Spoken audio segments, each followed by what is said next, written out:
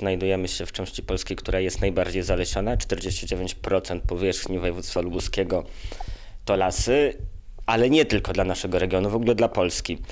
2,5% polskiego PKB jest wytwarzane przez lasy, plus kolejne 2,5% PKB to jest totalnie zależna od przemysłu drzewnego branża meblarska. Problemem od paru lat jest deficyt tego drewna. E, brakuje około 4 milionów metrów sześciennych drewna rocznie. Jest to ilość, która według Polskiej Izby Gospodarczej Przemysłu Drzewnego jest co roku sprzedawana na aukcjach mm, do Chin.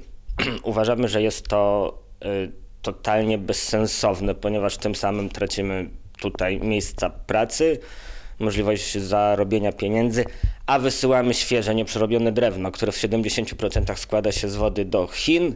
Tam ono jest suszone, przerabiane na elementy drzewne, które potem my z powrotem kupujemy. Właściwie monopolistą, jeśli chodzi o sprzedaż drewna, są lasy państwowe, które wygenerowały taki system, w którym istnieją dwie możliwości zakupu drewna.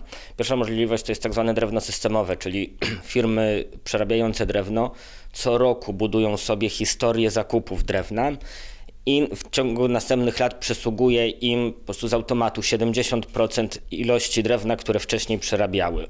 A druga część drewna pozyskiwana przez lasy państwowe jest wrzucana, to, to jest tak zwane drewno aukcyjne, jest wrzucana na aukcję i kto da więcej, ten e, je kupuje. I to jest właśnie ten problem, mm, że ogromne firmy zagraniczne zawsze dadzą więcej niż małe firmy porozsiewane y, w, po Polsce. My też jako branża drzewna zrzeszyliśmy się w takiej instytucji, którą nazwali, nazwaliśmy Polska Izba Gospodarcza Przemysłu Drzewnego. I mamy takie zadanie, czy postawiliśmy sobie taki cel, y, aby rząd uznał drewno za polski surowiec strategiczny. Uważamy, że rozwiązałoby to problem. Konsekwencją tego byłaby, byłoby brak możliwości wywożenia nieprzerobionego drewna za granicę. Wtedy drewna starczyłoby dla naszych tartaczników i zachowalibyśmy miejsca pracy, a wszystkie podatki związane z przerobem tego drewna również zostałyby w Polsce.